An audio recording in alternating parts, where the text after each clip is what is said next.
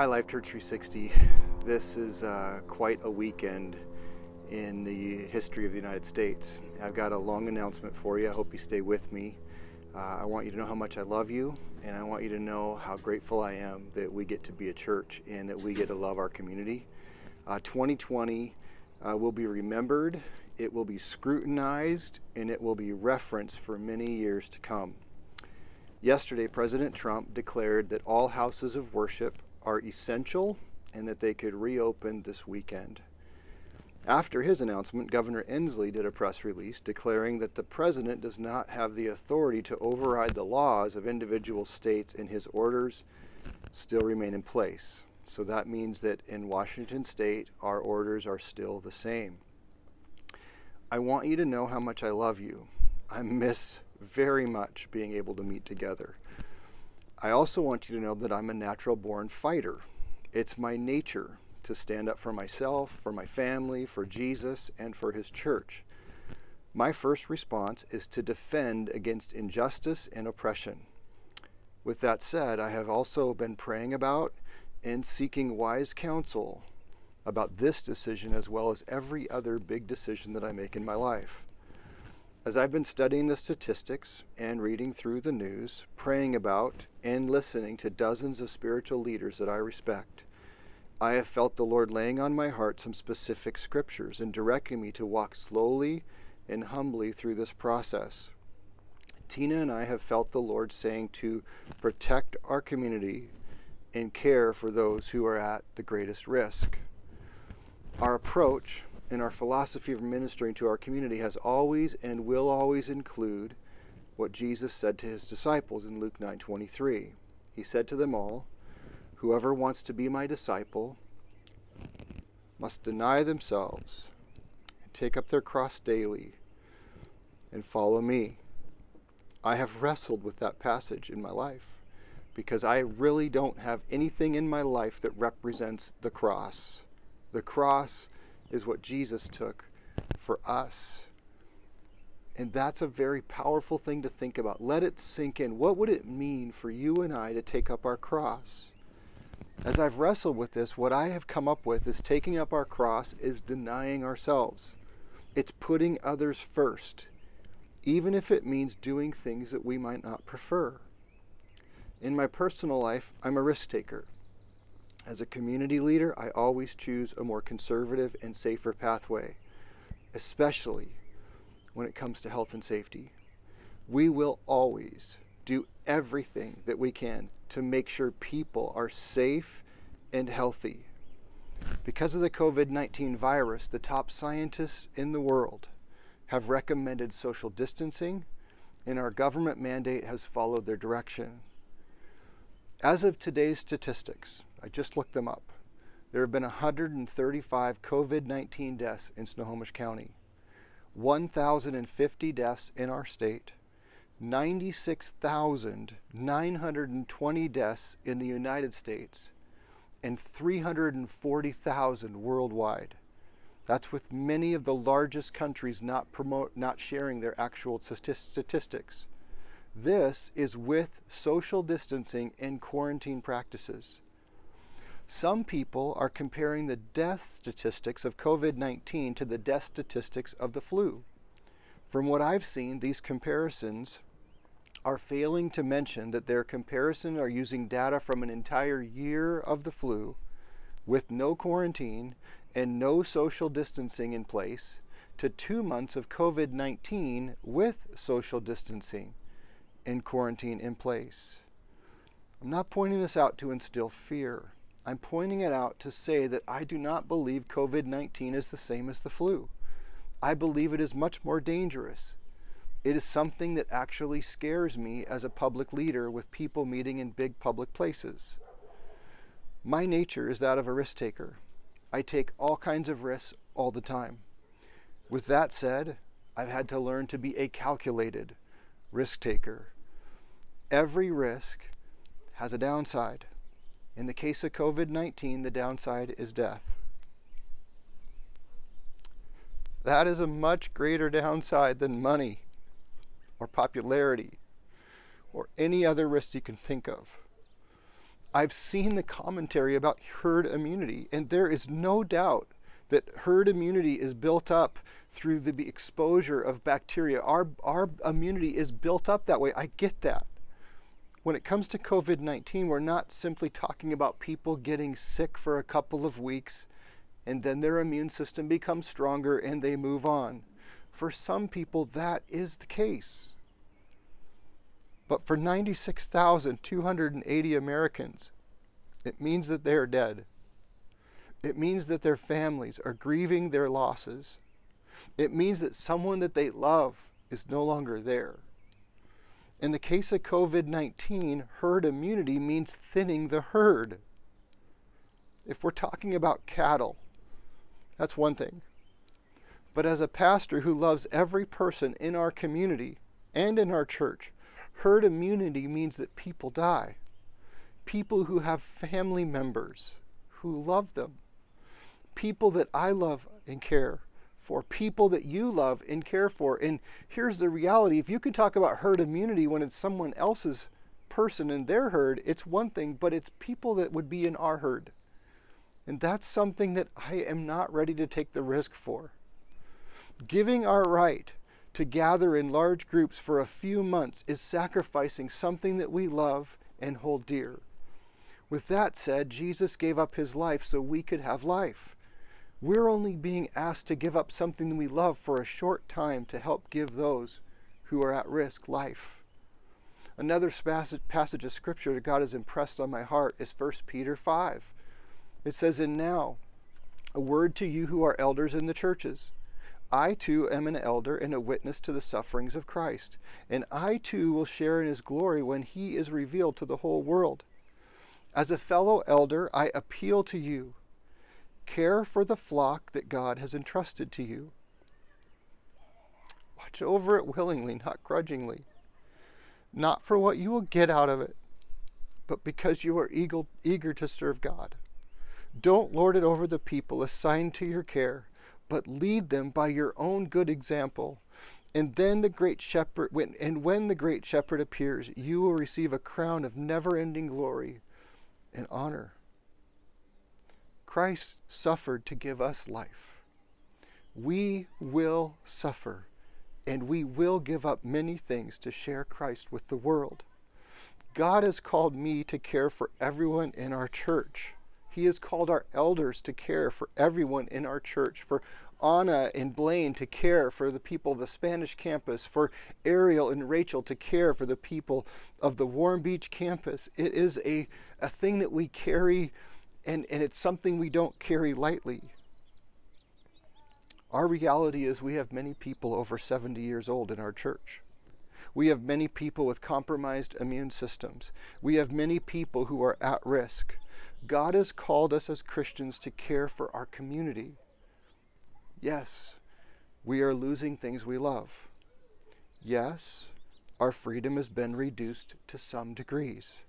But if we will show care and love to people, I believe the sacrificial route is what God would call us to do. I truly believe God is calling me to lay down my pride, walk humbly, and submit to authority.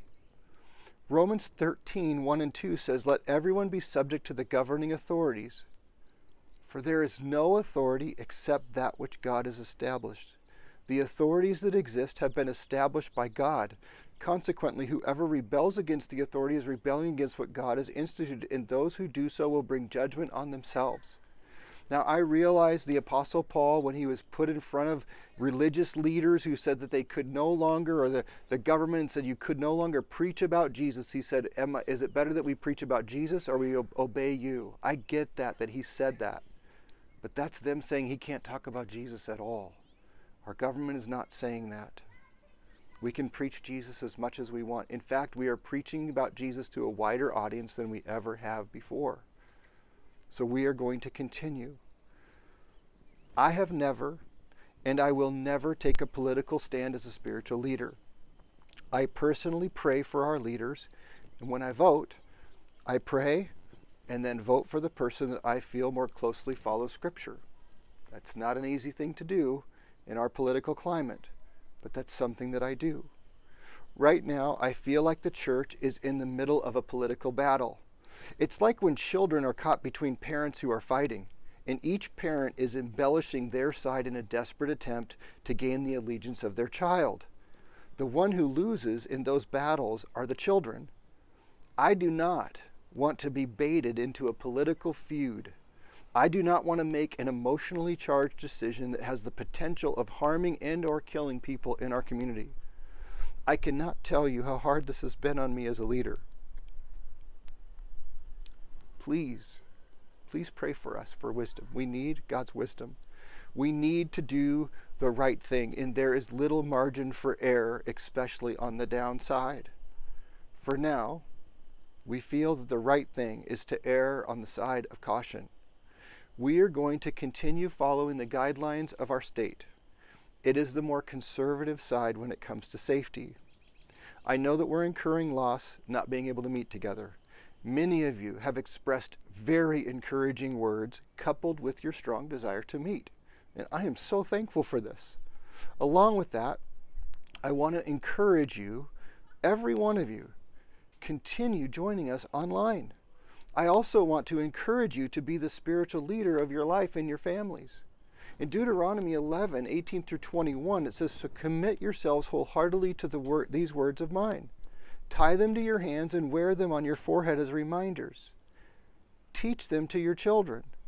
Talk about them when you're at home and when you're on the road, when you're going to bed and when you're getting up. Write them on the doorposts of your house and on your gates, so that as long as the sky remains above the earth, you and your children may flourish in the land the Lord swore to give your ancestors. This week we're beginning a new series. It's called For the Good. It's choosing our focus.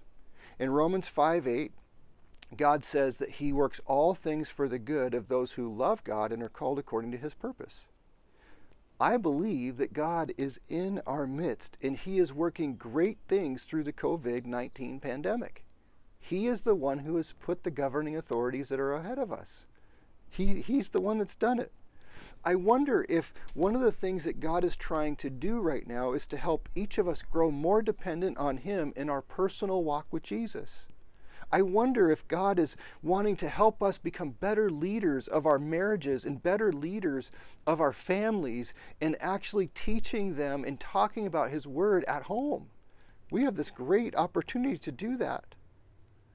Here's a reality we are free. We are free to read our Bibles. We are free to pray. We are free to preach it from the, the biggest medium that you could possibly imagine. We are free to love our families and do what we want to do. Don't get caught up in thinking that you're not free. You are free, especially free in Christ. The reopening of Washington State has four phases. These have not changed. Each phase is scheduled to be a minimum of three weeks. There are benchmarks that must be uh, met to move to the next phase and, and then go to the next phase and the next phase and the next phase. Right now, phase one ends on May 26, just in a couple of days. So that means that this next few weeks, the, the next phase is you can meet with people, up to five people outside of your family per week. There's also some things that happen with businesses so that more businesses can open up. Phase three begins on June 16th. What phase three does is allows for 50 or less people to meet together under the guidelines of social distancing rules. Keep in mind, it's under the guidelines of social distancing rules.